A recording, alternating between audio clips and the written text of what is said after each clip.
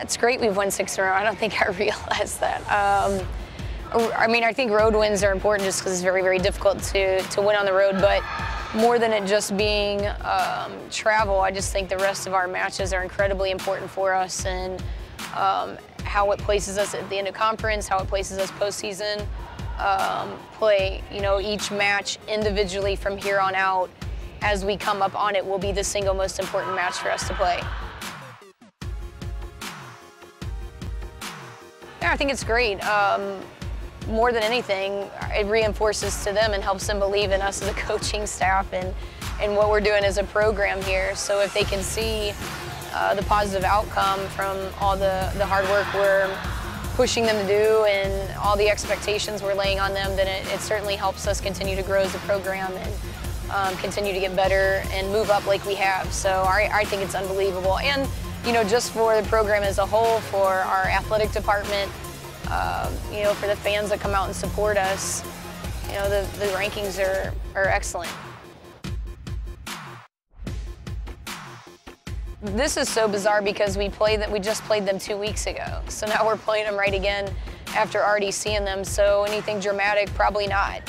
You know, there may be a few little things that we work on. I think more than anything, we're just gonna talk a lot about the importance of the weekend, get prepared to travel, um, get prepared to play two um, with a pretty difficult travel um, as far as distance and location and what we're doing there uh, from Orlando to El Paso. But uh, nothing major. I mean, I, I, think you'll see us looking like a similar team with just a couple little changes. There's a, there's a couple of things that we talk about in that no matter what gym we play in, no matter what opponent we have, everything should always look the same. So an away gym all of a sudden becomes our home gym.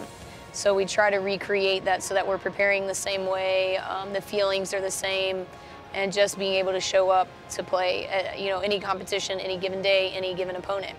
So this week we are going to, as a team, everyone's going to bring a little something to take into the locker room to make it feel like their home locker room, whatever that is, up to their discretion and then as a little team competition for a road trip and really for us as a staff to encourage them talking about the weekend and how important it is.